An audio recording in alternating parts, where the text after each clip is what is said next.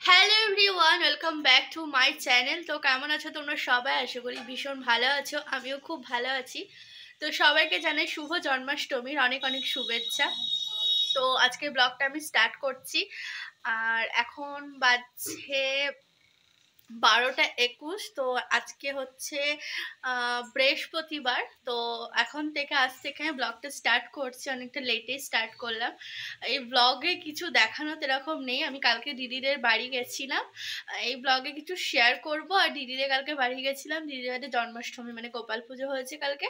তো সেই ভিডিওটা আমি এই ভিডিওর সাথে অ্যাড করে দিচ্ছি। তো তোমরা দেখে দেখে নিও।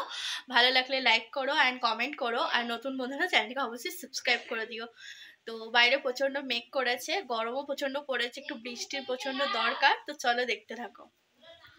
আর এই যে, এই ব্যাগটা দেখতে পাচ্ছ এই ব্যাগটা আমার জেঠুর মেয়ে মানে দিশা দিদি আমাকে এটা জন্মদিনে দিয়েছে। তো কেমন হয়েছে কমেন্টসে বলবে।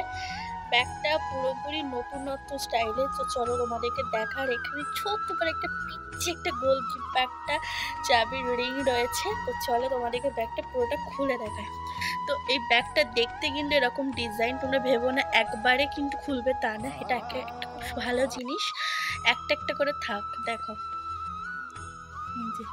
এইটা একটা থাক, এইটা একটা থাক, আর আর এইটা একটা থাক, ঠিক আছে? তো দিশা দিদি, তুমি ব্লগটা যদি দেখো, তো থ্যাংক ইউ আমার খুব পছন্দ হয়েছে। আর দেখো, এখন আমরা চলে এসেছি দিদির বাড়িতে গোপাল পুজো দেখতে। তো এটা হচ্ছে বুধবারের ভিডিও। তো এবছর যেহেতু দুদিন জন্মাষ্টমী পড়েছে, তো দিদিরা বুধবারেই পুজোটা করে নিয়েছে। আর ওখানে আমাদের ছোট্ট গোপাল বসে আছে, তার নতুন পোশাক পরে। আর এখানে গোপালের সমস্ত পছন্দের খাবার বানানো হয়েছে। তালের বড়া, তালের লুচি, সুজি, মাখন, ছানা, আরও নানা রকম ফল।